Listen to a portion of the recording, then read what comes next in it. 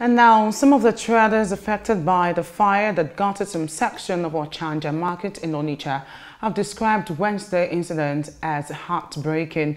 They are seeking for intervention from government and good-spirited Nigerians. A correspondent, Odo Young, reports. This is where the tragic event happened yesterday. Like you can see behind me, it appears that fire is actually still burning from the tanker. It happened that the tanker coming from the axis of Upper Iweka fell into the gutter. From this gutter, the fire, the fuel actually spread towards the Ochanja market area, causing a major disaster. From eyewitness reports, it is believed that if the fire service were on hand in time to control these incidents, it would not have happened the way it happened. The driver tried. Before he reached here, the cave of this uh, truck just come out, he can't go.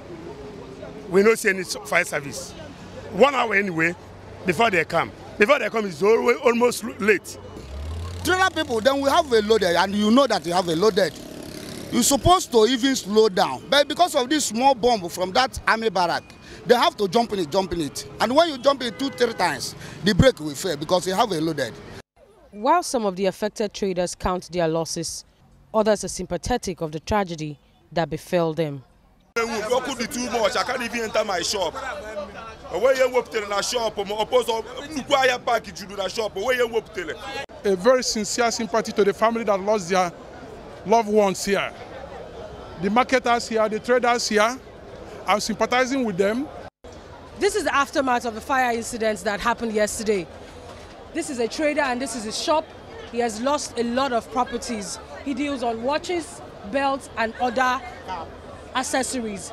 He says the fire got to them as a shock. Although they heard the news of the fire spreading from the other end of the road, they did not expect it to overwhelm them immediately. Their call on government is for government to see to it that fire service trucks are made available across markets in Onitsha and also for government to come to their aids financially. From the Ochanja market in Onitsha, Odonyong, STV News.